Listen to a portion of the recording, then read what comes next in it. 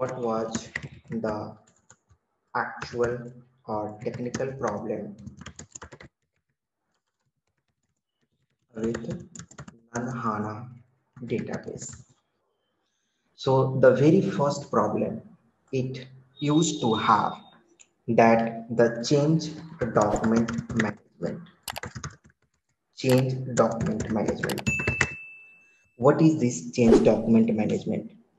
So whenever you enable the change log, so when you go to SE11 and when you go to the technical settings, there uh, is a checkbox to enable the change log. So suppose if you want to capture the log for any table, you must have to enable the change log.